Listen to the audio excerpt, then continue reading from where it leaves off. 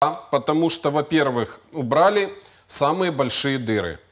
То есть убрали аккредитованных субъектов, это коммунальные предприятия, э, убрали вот это вот необоснованное упрощение регистрационных процедур, э, наоборот их усложнили. Теперь регистраторы должны относиться к этим документам приблизительно на том же уровне серьезности, как и нотариусы, проверять все начиная от того, кто выдал документ, жив ли он или не жив. Регистраторов сейчас прох- проходит процедура подключения к реестрам ЗАГС, э, к реестрам доверенности. То есть они теперь будут проверять все досконально. Уже липовые доверенности, договора от умерших людей уже не пройдут. Конечно, это качественно поднимет э, уровень э, защищенности нашего имущества и наших прав.